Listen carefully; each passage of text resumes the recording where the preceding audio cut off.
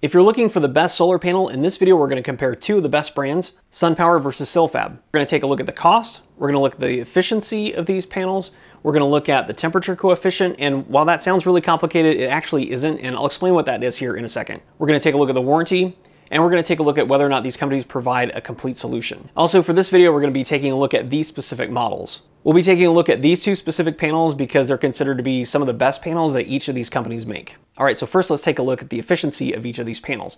Now with the efficiency rating, this is really just a rating to tell you how efficient these panels are at converting the sunlight into energy, into electricity that's going to power your home. Now, the thing to know here is with this rating, the higher the number is, the more efficient the panel is at converting that sunlight into energy based off the same sun exposure for each of these panels. The higher the efficiency rating, the fewer the panels that you need to be able to supply your energy needs. In this area, SunPower is the winner. All right, now let's take a look at the temperature coefficient. Now, this is that thing that sounds really complicated, but honestly, it's not. All this is showing is as a solar panel gets hotter, it loses its ability to convert sunlight into electricity. Now, I know that sounds weird, but that's how solar panels work. So with this number, we want a number that's closest to zero. And there are no panels that are zero. All solar panels lose energy as they get hotter, but the closer the panel is to zero, the less energy it loses as it warms up. In this area, SunPower has the advantage.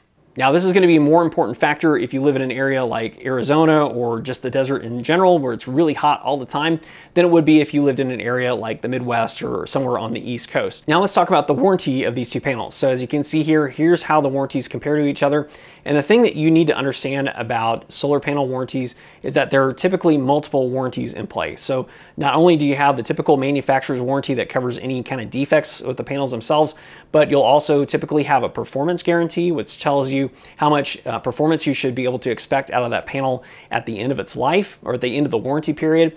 And there's also a labor warranty as well with some brands that will cover the cost of replacing anything uh, that doesn't meet the specifications during the warranty period. So some manufacturers have the labor warranty as well and some don't. So that's one of those things that you really need to pay attention to in addition to what level of performance should you be able to expect out of those panels at the end of the warranty period.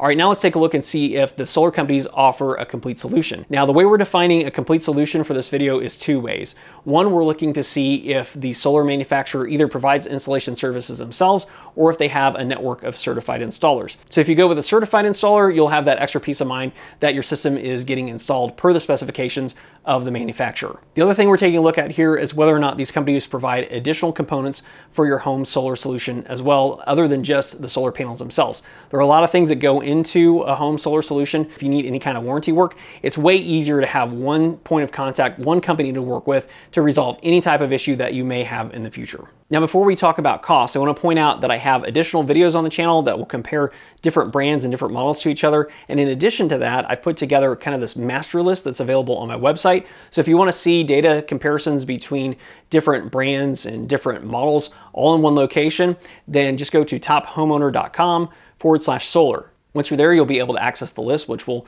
not only give you comparisons across all the top brands and models that's available on the market today, but you'll also be able to see additional data points as well. So that will give you some additional clarity and help you make the decision that's right for you and your house. So again, if you're interested, just go to tophomeowner.com forward slash solar and also put a link in the description below so you can go and visit that after the video is over. So here's how these panels compare with each other up to this point. So now let's talk about the cost. Now, when it comes to cost, we can compare the cost of each of these panels to each other. But if you're looking at these two panels, most likely you're looking at a whole house solar solution. And if that's the case, just giving you the panel cost is not really going to give you an accurate representation of what it would take to have home solar at your house. So in order to do that, you really need to understand additional factors, including whether or not your house is a candidate for solar in the first place.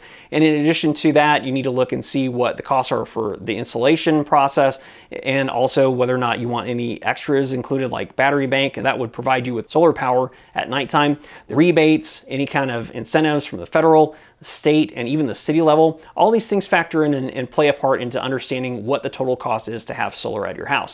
So honestly, in order to get an accurate idea of what the cost would be for a solar system, the best thing to do is to just get a quote from a reputable solar company. In order to make this process easier, I've teamed up with SunPower to be able to provide you with an online quote.